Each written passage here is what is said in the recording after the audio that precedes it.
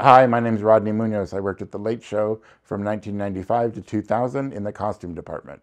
I remember we were doing this four city tour, and I got to Chicago and we were shooting something in a salon at Marshall Field. Dave wanted Mujibur and Sirajul in like neon pink colored hair, and we didn't have that, so I ran out and went and bought some wigs and I got some dye, and there I was in the hotel room dyeing neon pink and green wigs. I came back the next day and Dave was pretty impressed that I just did it. I was new and eager.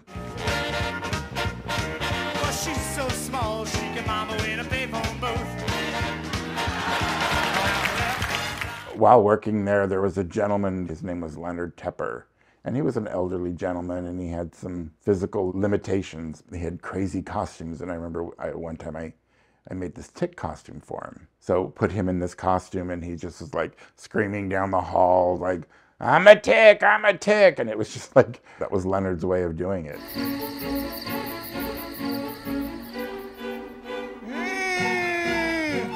Dinner time! Not so fast, you bloodthirsty bastard! Ranger Dave's tick collar! Ah! Thank you, Ranger Dave. It was really kind of amazing, this guy Leonard Tepper, that could he was kind of hunched back and he could barely walk and he moaned and groaned about everything, but the minute the camera was on, he was on.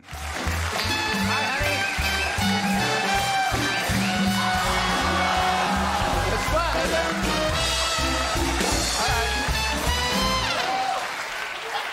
I'm dizzy! I know. I'm dizzy! All right, well, get down then, Help honey. me! All right, get down. Call 911! All right, get down. Help Get down. I'm dizzy! Get down, I'm Jefferson. disorientated! Get, I'm disorientated! get down. I had to tell you something, ladies and gentlemen. I'm 49 years old. That one shot when she was getting off the chair. I'm 49. That's the most unpleasant thing I've seen in my life. There you go. Dave's style was very New England conservative, but made by an, a very Italian tailor. One day he accidentally left on his white socks, and everybody was complaining about him wearing the white socks. And I, I remember thinking, well, he's never going to go back to black socks. And he didn't. He was like, nope, I want those. Hey, you're in charge. It's you. I don't care. Wear white socks. Wear pink socks. I was just next door grabbing a bite. Yeah? And I saw the show and it looks uh-huh. terrific, but do yourself a favor, will you? Wear these. All right. Thanks, Frank. Start dressing up, man. This ain't cable.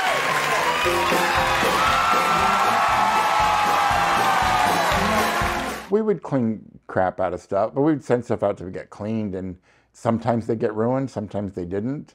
We also had multiple suits in stock, so if he was doing something that we knew we were going to have to cut back to later, then we would definitely pull a multiple suit and have him wear that for the stunt and then for the real show. Okay, let it go, boys!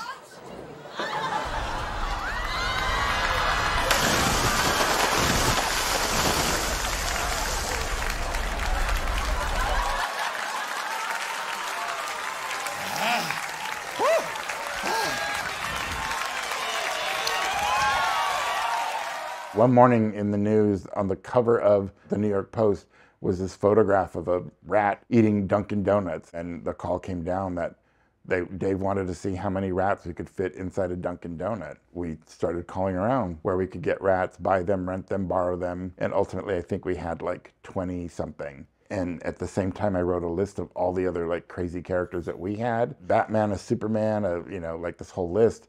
And then Dave, I remember Dave thought it was funny. And so then we just added all those people too. It turned out to be a really funny bit. Uh oh.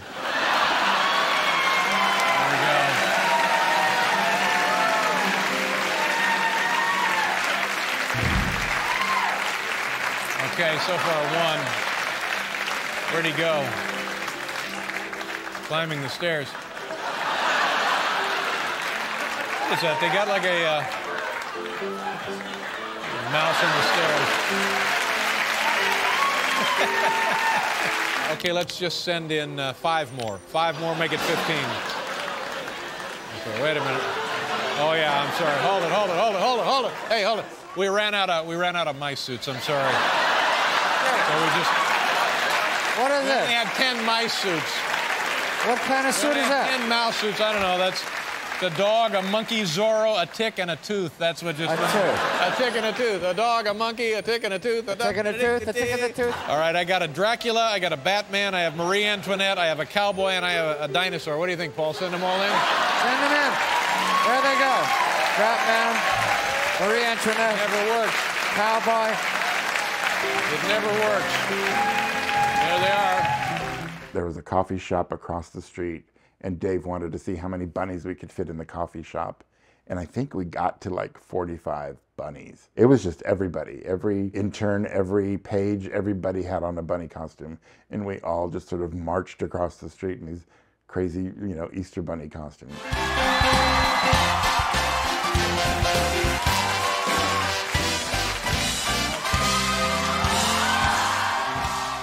Every year for Halloween, we had kids doing trick or treating, and so we would make these elaborate costumes. And one year, one of the ideas was just Siegfried and Roy. I had to get some like flesh colored net and then make a hairy chest for this kid. And it was like, just remember thinking, there's something wrong with putting hair on this seven year old kid. Like, oh well, gotta do it.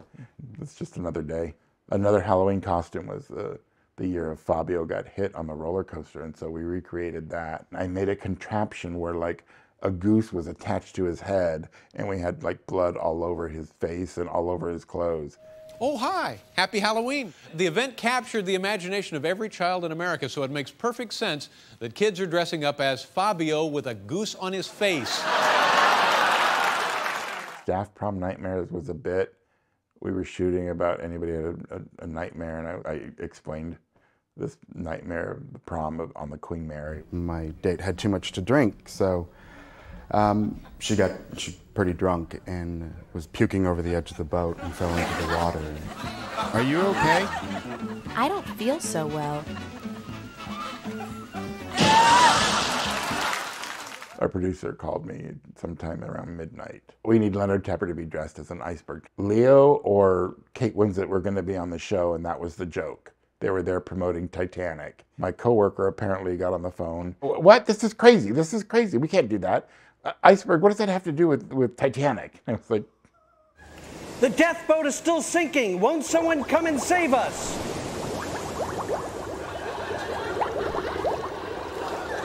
Who are you? I'm an iceberg. You just knocked me on my ass. I'm sorry. That's okay. How about a hug? Oh, okay. Oh no, a typhoon!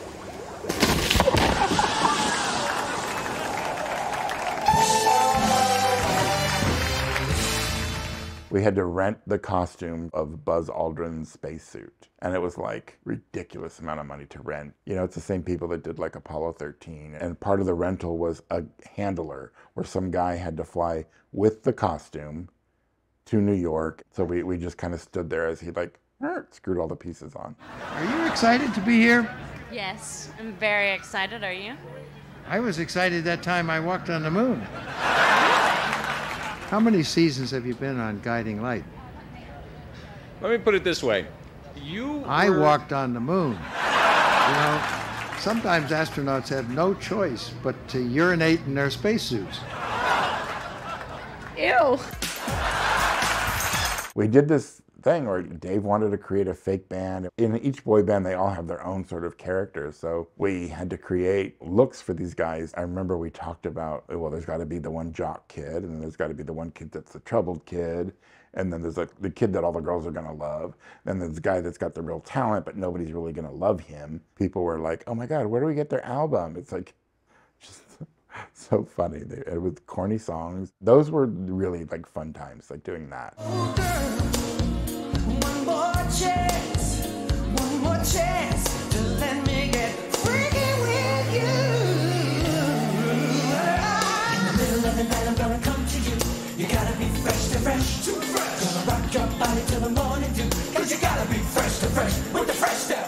There was a whole time where the writers were doing these fake musicals and we would produce them like it's the new hit of Broadway. Now, in hindsight, you're like, these people became huge Broadway stars. They were very successful at that point, but in later years, they, they their careers all took off. It was like fun, just getting a chance to do a theatrical musical in two weeks, and that's it. And it would just air for one song, and it was over. He's coming home, he's really coming home.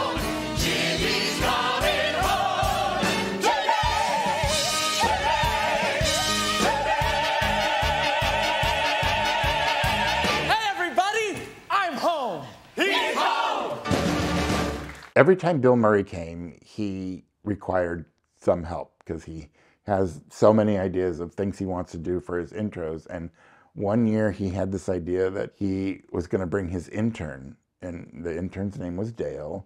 And so they had to cast somebody to play Dale. And I think it was one of the head writers that thought I would be the perfect candidate for this. It was funny. I wish I'd done more. It would have been fun. Are you. What? What? Are you.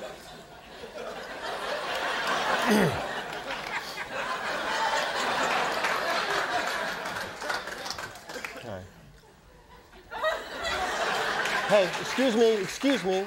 Dale? Dale.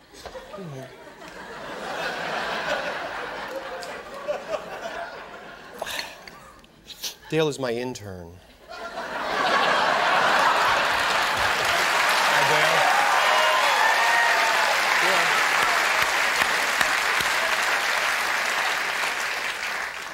You don't need anybody, do you?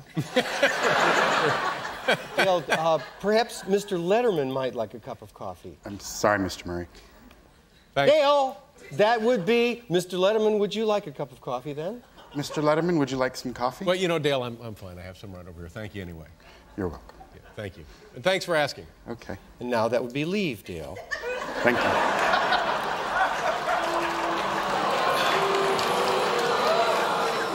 Seems like a nice kid. Is he a, a new? Is he part of the spring class of Bill Murray interns? Dale got me this hat. it's, uh, it stars uh, Jason Schwartzman as this kid who's the uh, plays the high stars.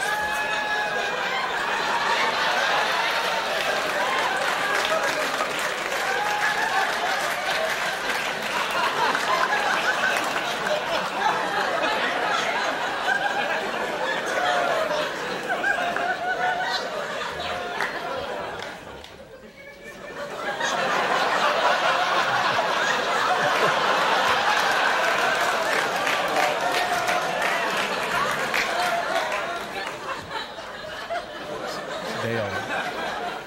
That's all right. That's- You can talk to him later. Talk to him after the show. Talk to him after the show. I know his parents. America!